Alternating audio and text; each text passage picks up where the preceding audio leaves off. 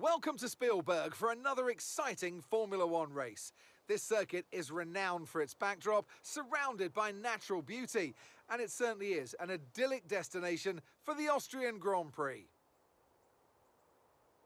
The Spielberg circuit then is situated 700 metres above sea level, with just 10 corners making up one of the shortest laps of the season. One time around here is a distance of around 2.6 miles, with the best overtaking chances into turn 1 or the tight uphill of turn 3. So with the race not far away from starting, here's what today's grid rundown looks like. A fantastic effort from Charles Leclerc yesterday, and it's put him on pole. And it's Lewis Hamilton alongside. Considering the rest of the grid, we have Verstappen, Russell, Sainz, Fernando Alonso, Stroll, Perez, Albon, Hulkenberg, Magnussen, Sargeant, Ocon, Gasly, Zhou, De Vries, Bottas, Tsunoda, Oscar Piastri, and Lando Norris starts from the back of the grid. And with lights out just moments away, it's time to go down to the track. Anthony Davidson will be sharing his insight alongside me once again today.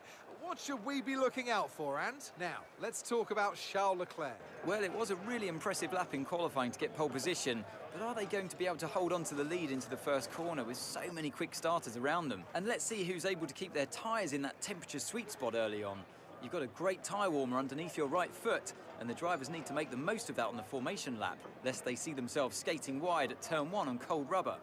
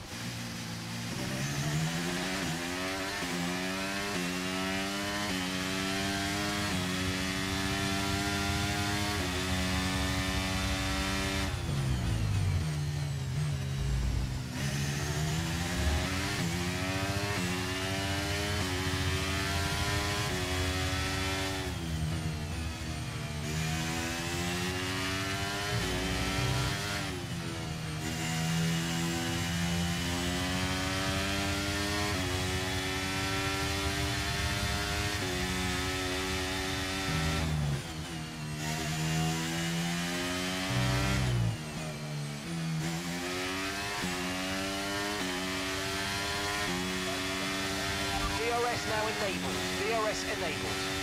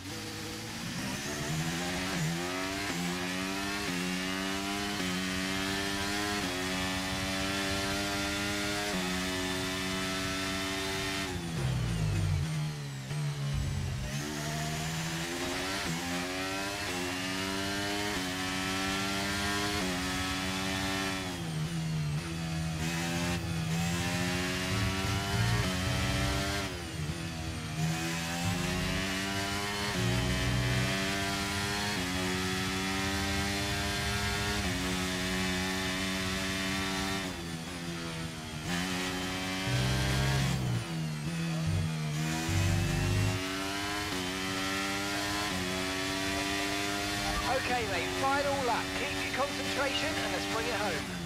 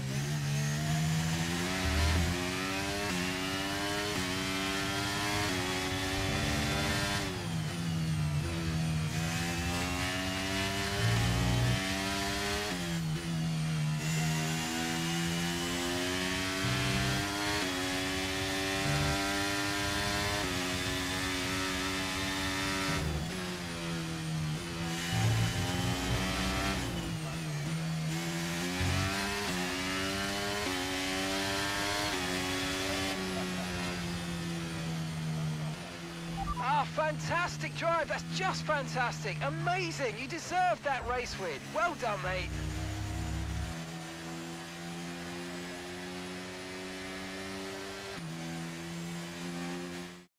A fantastic team effort then to secure victory here in the Styrian Alps. And talk to me, what do you think it was that sealed the win for them? Well, time management probably played quite a large role in the outcome of this one. As ever, it's not just about speed, it's all about maintaining that speed consistently over a stint, over a race distance.